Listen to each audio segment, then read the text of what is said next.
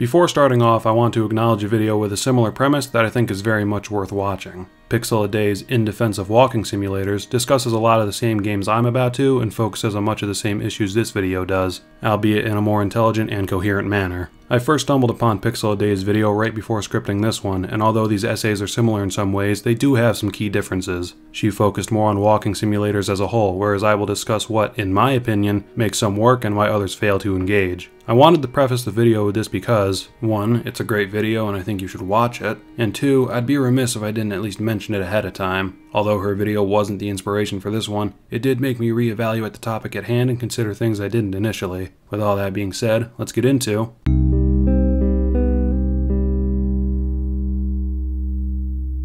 Many discussions surrounding walking simulators argue whether or not they should be considered games at all. More often than not, I find the discourse pertaining to this usually devolves into hyper-opinionated nonsense. My opinion on walking simulators, if I had to talk about them as a whole, is that they're a net positive for the medium. Oftentimes, a game's emotional core can be obstructed by moment to moment gameplay. What I mean by this is that sometimes I can't be bothered to care about the story or characters because what's more present and important is my survival. I don't want to die, not because I don't want to see my character get murked, but because I don't want to be forced to reload a checkpoint and go through an area again. I wouldn't say that it necessarily breaks immersion, but being faced with a loading screen upon death is a good reminder of a game's artificiality. Some games get around this by recontextualizing fail states entirely. Quantic Dream's games come to mind. Instead of simply failing to rescue this girl and being sent back to a checkpoint, Detroit Become Human allows you to fail and move on, incorporating your failings into the plot. This may not be a perfect metaphor, but picture it like this. You're taking a test in school and you knew you kind of blew it, but you go to hand in your exam to the teacher anyway. If your teacher is, let's say, Quake, they'll tell you to go back and correct your mistakes, and won't allow you to turn in your paper until you've gotten every answer right. If your teacher is Detroit Become Human, they'll accept your exam no matter how well or poorly you might have done on it. Of course, not every game can be as expansive as Detroit, and not every game needs to be like Quake, but you get what I'm saying. Walking simulators cheat and remove fail states entirely. I personally enjoy this, as the lack of traditional gamey mechanics allow me to better and more easily connect with characters in the world. That's not to say that ordinary game mechanics are always a detriment, but again, it's hard for me to care about the story when it and the moment to moment gameplay are so divorced from one another. Walking simulators, for the most part, are better off without traditional mechanics anyway. Although the genre status as legitimate games is solidified for me, others argue they're no more games than a DVD menu would be. There's always been the argument that walking sims are needlessly reductive and only incorporate the bare minimum level of interactivity. And for some of them, yeah, I don't really have a counter. More often than not, however, this criticism neglects to mention that exploration, in and of itself, is a mechanic. I've always disliked the notion that difficulty, not pure interactivity, is what sets games apart from other mediums. Of course, they usually go hand in hand, but I don't think that any sort of difficulty or challenge being removed from the equation means that something isn't a game. A game not implementing a failure state, no matter how rigid or flexible, doesn't lessen its value or status as a game. Walking Simulator is a misnomer anyway. If I were to call any one game a walking simulator, I'd name QWOP. None of the games I'm about to discuss have failure states. It wouldn't make sense in many of these instances anyway, since their gameplay isn't predicated on challenge.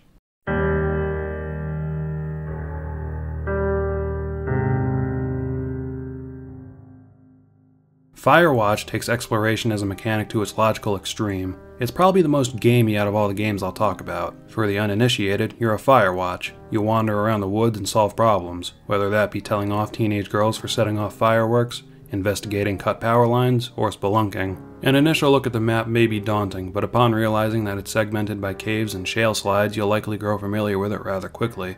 For all intents and purposes, this is an open world. Some light puzzle solving is required to traverse the world, and the only way the game highlights objectives and provides waypoints is through an actual map. Firewatch, above almost any other walking sim, I would say requires the most player agency. Not that other walking sims lack that requirement, just that in it, you'll be made to revisit locations occasionally and are incentivized to memorize the park and its landmarks. There's little to no handholding, and the few times you can receive help, it's done through Delilah, the player character's boss over the radio, so it feels more natural and less like an unwanted, overtly gamey tutorial. Hey, I'm back near that big rock outcropping, but not sure how to get back. I'd head west, back towards the lake, and then turn north towards the canyon. Although I overall like the world's design, it can be slightly irksome when the only thing preventing you from progressing the story is an obscured clearing in the brush that's extremely difficult to notice under normal circumstances. Coming back to Delilah, though, the game benefits greatly from her presence. Although you're effectively alone for the majority of the game, having Delilah basically always on the radio means that events that might not normally be noteworthy are lended a greater importance, with Delilah providing context and investment from the player. If Delilah didn't exist and Henry was doing everything he does of his own volition, then the game wouldn't be half as interesting or engaging, at least in my eyes. I mean, the central mystery would probably be enough on its own, but without Delilah communicating with us throughout, the first half of the game would be a slog. The ways in which the player can interact with Delilah are simple but effective. It's an easy way to get the player to care about Delilah, and thankfully Campo Santo understood that completely. If Delilah is delivering an exposition dump, it still feels genuine, like it's something she'd actually do and say, like it's something a real person would actually say, unlike the narration in Dear Esther. Dear Esther, I think, has the bones of something greater buried somewhere underneath its surface. Underneath the extremely overwrought and flowery narration and the completely unnecessary ambiguity lended to every event mentioned throughout, I think that there's a good, or at the very least interesting, game somewhere, though my reading could be overly generous. Dear Esther, I would say, definitively requires the least player agency out of all the games featured in this video, but more on that later. Starting off with some positives, the game is downright beautiful. My favorite sort of days are of the gray, lifeless, chilly, late fall to early spring variety, and Dear Esther's Island feels like it caters specifically to that. The caves, especially, are extremely striking. The narration, for how absurd the writing is, is at least performed well. The music is another great aspect. Tracks range from haunting to bittersweet to downright sad, and it often sets a great tone. That's good, since tone is about all the gameplay offers. Now listen, I don't think a game need be anything besides interactive. Dear Esther is interactive. If it didn't pointlessly obscure and distort its plot and recite such obtuse exposition, I might enjoy it more than I do. Unfortunately, Dear Esther is of a mind that making things extremely vague makes it seem smarter than it is. Likely, you'll be confused as to who you're even playing as when the game starts. I thought I was playing as the eponymous Esther initially, and didn't figure out until about three fourths of the way through that that wasn't the case. The narration is horribly pretentious. It feels like something a self indulgent 14 year old would write. In other words, it feels like something I would have written when I was 14. The prose is obnoxious, and almost none of it feels genuine. We are not like Lot's wife, you and I. We feel no particular need to turn back. There's nothing to be seen if we did. No tired old man parting the cliffs with his arms. No gifts or Bibles laid out on the sand for the taking. No tides turning or the shrieking gulls overhead. The bones of the hermit are no longer laid out for the taking.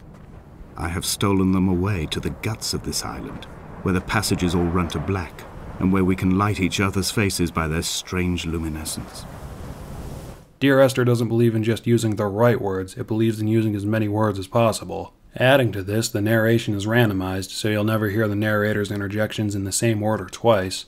I can derive no purpose from this. If you're paying attention, the entire story will be revealed with basically one offhand comment. I had kidney stones, and you visited me in the hospital. After the operation, when I was still half submerged in anesthetic, your outline and your speech both blurred. Now my stones have grown into an island and made their escape, and you have been rendered opaque by the car of a drunk. There's also flavor text to provide some backstory to the island and its past inhabitants. This is also pointless, as these characters have no impact on the plot and only serve to confuse the player. I thought I was piecing it all together until I heard the narrator bring up Jakobson and wondered who the fuck that is and how he's relevant to the story. He's not. He was a shepherd who lived on the island in the 1700s. I'm not sure why the narrator talks about him when he's on the verge of suicide due to the loss of his wife. It feels like Jakobson should be the last thing on his mind, but whatever. I'm getting off track, but the reason I compared Dear Esther to Firewatch is that the dialogue and interactions between the characters in Firewatch feel authentic. There's something to be said for presenting a story in the present tense as well. Not that all stories benefit from this, but I would say the Firewatch does. You're exploring a wide map and conversing with a woman the protagonist is romantically linked to. Dear Esther, although not a perfect match, is kinda the same thing if you're super reductive. You're wandering a large map and speaking at a woman the protagonist was romantically linked to. The reason that it works in Firewatch, past or present tense aside, is that Delilah is given a ton of characterization and the player has a stake in their relationship. You never meet Delilah, but she has a voice and a personality. She feels real, and not just because you directly interact with her. Esther is granted no characterization at all. She's dead, I understand, but the narrator never really takes the time to delve into who Esther was or why we should care about her. She exists as a name, and that's it. It also doesn't help that the gameplay and story in Dear Esther are almost completely incongruous. In Firewatch, the story is about Henry's escapism and the plot is about espionage, but the player is present for it and experiences everything as Henry does. At the end of Dear Esther, the narrator throws himself off a radio tower to his demise, and you think it'd be playable like everything preceding it, but no. For some reason, the game takes control away from the player at the point where it'd be most impactful to have it. While I've been critiquing Dear Esther's approach to its story, I've probably made it sound as though a past tense retelling in this genre couldn't work, but that assertion couldn't be further from the truth.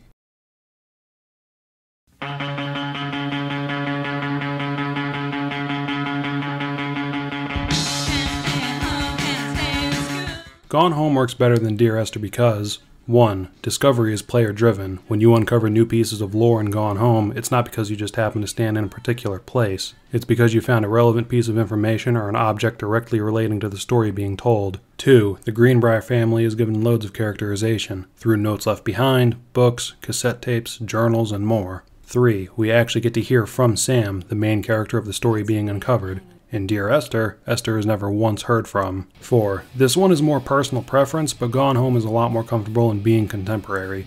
Dear Esther kinda half asses it, and until it's revealed that Esther died in a car crash, you could be mistaken for thinking the story takes place in the early 1900s. Gone Home is easily one of my favorites in the walking sim genre. The response it received upon release was equal parts polarizing and, to me, disconcerting. It was one of the first times the hardcore gaming audience felt they had to reevaluate or at least reconsider what defined a traditional game. It feels now like trying to establish the difference between a book and a comic book or graphic novel. I mean, this isn't not a book, but it's not a book in the completely traditional sense. If anything, I would equate walking sims to conventional novels and normal games to comic books.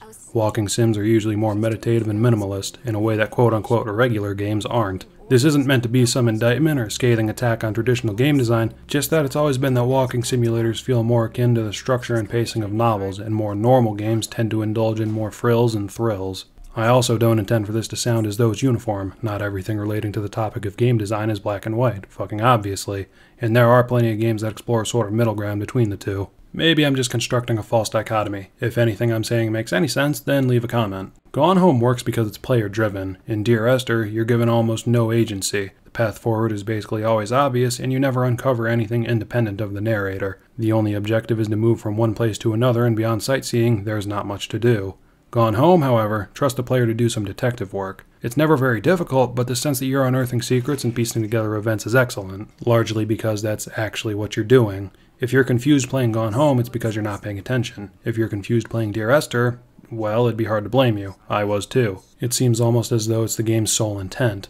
I talked about how Dear Esther only really provides tone through its gameplay, meaning that there's a general mood that's expressed but not much else. Gone Home provides tone and texture, meaning that in addition to the general ambiance, the world feels tangible. Being able to hold, rotate, and gawk at almost every item in the world helps that sense of tangibility greatly. Dear Esther's Island feels like a set, a beautiful and elaborate set, but just a set. Gone Home's residence feels like a truly lived in place. Even without reading notes or listening to Sam's narration, you get a great sense of who these people were. You learn gradually what motivated them, their hobbies and interests, their fears, their mundane issues, and more. Gone Home's home lends characterization through environmental storytelling. Dear Esther's Island does not. There's also something to be said for setting your walking sim in an at least semi ordinary or relatable environment. The events of Gone Home's story hit with more impact because it feels more present and, for lack of a better term, real. You've likely lived in a house and had a family, and that setting immediately makes it feel more earnest than Dear Esther. Though just because your walking sim takes place in an everyday setting doesn't mean that its story necessarily has to be grounded.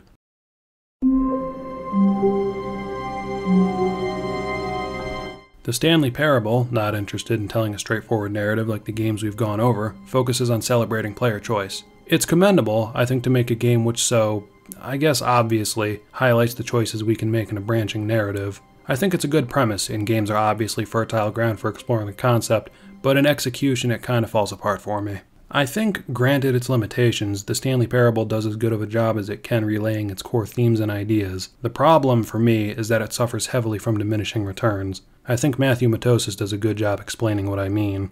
If I randomly told you a hundred knock knock jokes over the course of a year, you might find many of them to be funny. But if I sat you down and said, I'm going to start telling you knock knock jokes now, and then proceeded to tell you a hundred knock knock jokes in a row, the effect would be very different. At some point, it becomes irrelevant how good those jokes are individually. Their effectiveness will be diminished just by their proximity to one another. What this means is that, essentially, all of the jokes and gags being in such close proximity to one another and being expected every time results in the game feeling tired and boring before long, at least for me. A lot of gags ending with the player standing in place while almost nothing happens doesn't help either. That's not to say that the jokes aren't amusing on their own or that the narration is bad, just that, like, I get it. Before long, you get it. If I'm always anticipating subversion, then the subversions lose their effect. It also makes me roll my eyes with sequences like this. At first, Stanley assumed he'd broken the map until he heard this narration and realized it was part of the game's design all along. He then praised the game for its insightful and witty commentary into the nature of video game structure and its examination of structural narrative tropes. The game pats itself on the back for its insightful and witty commentary that isn't very insightful or profound at all. This is a fake glitch. I'm not sure what commentary the game thinks it's espousing, but I don't find this sequence valuable. Glitches happen sometimes, but this one is intentional. So what? Left. No! Why did you do that? Quickly, hurry. Behave exactly as Stanley would. That means choosing responsibly and always putting the story first. Most of the rest of the game feels like, oh, you thought this? Well, actually, and I don't usually find it as clever as the game does. The central mechanic of choice is metatextual, of course, and I think that's a concept worth exploring. Fortunately, it's been done in games that aren't so up their own asses. The Stanley Parable, to me, doesn't say anything revelatory about games, game structure, design, developers, or how we engage with games. I appreciate that it exists, but I can't really say it maximizes its concept's potential. But I also can't say it doesn't. Outside of a choose your own adventure book, this type of experience is only really possible in a game. Commenting on the Stanley Parable's status as a game, I find that people are usually far more comfortable calling the Stanley Parable a game than something like Gone Home or Dear Esther. Likely, this is because the Stanley Parable features explicit choice and fail states. It seems to me that unless a game has an explicitly stated central mechanic, critics and audiences are likely to be far less lenient when deciding what they consider them to be. What's to say that Gone Home's central mechanic isn't exploration? It's mentioned directly on its Steam store page, but I've seldom seen it brought up in discussions. At best, people argue against walking sims being games because they believe that games must feature either challenge, explicit mechanics, or fail states. I disagree with those assertions, but I wouldn't say their argument is in bad faith. At worst, though, people argue against them because they perceive a lack of interactivity. I'm sorry, but this is interactivity. Baseline, but I'm controlling a thing on screen throughout a physical world and manipulating pixels. Regardless, I think both arguments are constraining. Going back to the traditional book versus graphic novel debate, you wouldn't call this a not book. They use somewhat similar but also radically different methods of conveying ideas in two comparable mediums. Would you not call Toy Story a film just because it wasn't filmed and produced by conventional methods? Of course, none of these analogies are perfect, and I probably sound like a self indulgent 14 year old, but I hope I'm making some sense. These aren't strictly games in the traditional sense, they're a different type of game. Instead of the industry having an identity crisis over these games, we should have just classified them as narrative driven and moved on. Imposing that a game must feature challenge or a fail state of some sort is incredibly limiting on the medium, at least in my eyes. In short, the Stanley Parable is a good concept with so so execution. A game that I think does a better job exploring game design and how people engage with games and their creators through being a walking sim is. Hi there. Thank you very much for playing The Beginner's Guide. The Beginner's Guide, developed by the same guy who made the Stanley Parable, explores the games made by the fictional Coda, the developer's once friend. The Beginner's Guide does a better job than the Stanley Parable did exploring games and their design because it isn't interested in trying to be clever just for the sake of being clever. The Beginner's Guide guides you through multiple games with varying degrees of well, coherence in an effort to show the different design philosophies and methodologies Coda displayed in his works. It comments on the parasocial relationships that can arise between creators and consumers, it does all of this through a tightly scripted linear narrative through Coda's games through this game. Its commentary on the nature of video games is much less self congratulatory than the Stanley Parable, and as a result, is much more intelligent. As an example, take the fake glitch from the Stanley Parable and compare it against the fake glitch sequence in the Beginner's Guide. The Stanley Parable doesn't comment on how glitches can be detrimental to a player's immersion and experience, or explore why some players might exploit them. It just goes, Look, an intentional bug. Isn't this so wacky? It says nothing of value. The beginner's guide instead presents the glitch as unintentional within the game's own context. Well, the narrator says it's probably unintentional anyway. The narrator tries to make sense of what he thinks Coda might have been trying to convey with this. Knowing Coda, though, there's almost no chance this glitch was unintended. The narrator inserts what he thinks Coda likely intended to happen as well, kinda telling on himself that he has an unhealthy obsession with twisting and distorting Coda's works into something more easily understandable for himself. With a short sequence, the beginner's guide explores how glitches can sometimes be implemented knowingly to spur discussion. It comments on how some people will bend over backwards to disregard what they perceive as a flaw to help reinforce their own headcanon. It's informative in a way that the Stanley Parable never was while discussing the topic. The Beginner's Guide relies heavily on an unreliable narrator, and to an extent, so does the Stanley Parable. In the Stanley Parable, though, you kinda have to make the narrator unreliable. He is reliable and truthful until you become defiant, and while it's fun on your first playthrough, it, like I said before, suffers from diminishing returns. The Beginner's Guide's unreliable narrator is much more effective for me because he's an actual narrator, not a commentator. In the Stanley Parable, all it takes is one disobeyed order and then comedy ostensibly ensues and you more or less get the point of the game. The beginner's guide isn't so obvious. I never think back on the Stanley Parable because there's nothing to think back on. Anything the game wants me to consider, it will divulge in full. The beginner's guide is more effective for me in getting me to reconsider game design, interpreting a game's message, and thinking on parasocial relationships because it's not just face value, no room for subtext, declaring things. I mean, don't get me wrong, I know the Stanley Parable is likely not trying to be a slow burn like the beginner's guide, but still. Both games are incredibly novel, but the beginner's guide works for me because it's more committed to a single overarching idea, that being exploring Coda's games. It takes itself far more seriously than the Stanley Parable, and I think massively benefits from being a linear, predetermined story. In the Stanley Parable, since the game makes no commitment to being grounded or real at all, all of its subversions quickly became expected, and not long after that, boring. There are no rules, narratively, in the Stanley Parable, and I think that works for and against it. The rules imposed upon the beginner's guide by just trying to tell a story about games and people through games and people serve to make its metatextual story beats land with more impact. If you've taken anything positive away from this video in regards to how you view walking sims, then I've accomplished what I set out to do. If you still don't care for walking sims, then feel free to leave a dislike. I realize that this video would have been more relevant in like 2014 when all of this was still a hot button issue, but screw it. I wanted to talk about it, and now I have. Throughout this video and everywhere else, these games are called walking simulators, and I mentioned briefly in the beginning that it's probably not what we should call them. Though, despite how inadequate I find the term to be when it comes to actually describing these games, it's transformed from an insulting dismissal to a genuinely helpful tag. It's too late to whine about the name, but hopefully people can start to appreciate walking sims for what they offer rather than deride them for what they lack. It, like a lot of things, is all about perspective. If you were to go into Gone Home expecting heavy puzzles, tough decisions, or a challenge of any sort really, then you would likely be disappointed. If you were anticipating strong environmental storytelling, intrigue, and exploration both of characters and the environment, then you'd probably have a good time. Despite not being based primarily around confrontation, usually lacking puzzle elements, and being largely linear affairs, walking sims have carved out a nice little niche in the industry. Some of the best stories I've experienced in games have been through this genre. It also allows smaller developers to express ideas in ways that a AAA studio's design ethos wouldn't typically allow. Really, I don't expect the genre to hail in a new storytelling epoch in the medium on a large scale, but I've been elated to see that walking sims are finally starting to garner the support I've always thought they deserved. They highlight stories and people as mundane as you or I, and when done right, I think they can be shockingly effective.